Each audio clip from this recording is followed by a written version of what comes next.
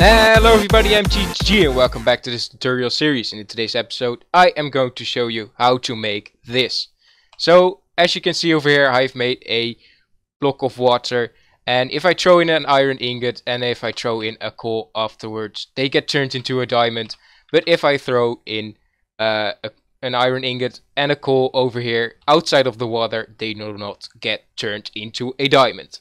Let's get into the coding. Okay, so first things first, let's change the radius because this is the wormhole plugin with the converter uh, and I'd like to edit this so that it uh, is a item combiner instead of an item converter. So let's change the radius of the 323 to a half, 0 and a half. This will check in a 1 by 1 block radius with uh, the item being the middle of that radius. So we can just remove this and what we want to do is we want to check if end is equal is an instance of an item stack entity. And uh, we can do this by doing end instance of item. And item is not the item stack it's the item entity.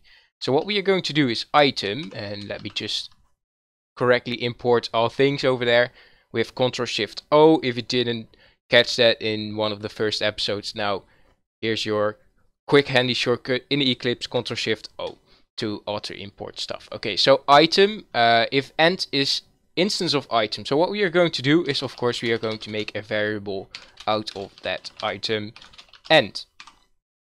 And uh, with that item, so that item is um, the iron. So we throw the coal and we want to check if there's an iron ingot nearby.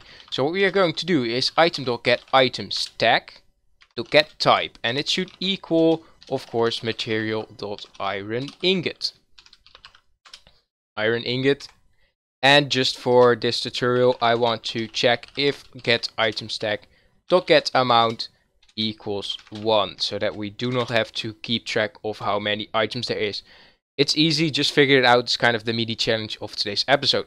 So okay uh, get amount equals 1 and as you can see I made it in such a certain way that only the items that are inside of a water block, a stationary water block, change into the new diamond. So what we are going to do is we are going to check if item, so that's the found item, dot get location, uh, dot get block isn't equal to null, and item dot get location, get block, get type equals material dot and as I said stationary water. You can check any kind of block.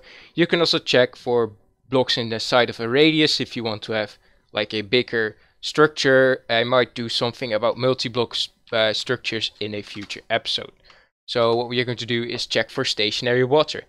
And there's two things we need to do now because we want to remove the iron ingot and change the coal into uh, diamond. And of course, as you already know, you know how to remove entities and it's the entity so item dot remove and over here e dot get item drop dot set item stack new item stack material dot diamond and if they throw away a whole stack now they're gonna lose the whole stack and only get one diamond in return so what you want to do is you really want to make the check with all the amounts and that's actually how you make the item combiner.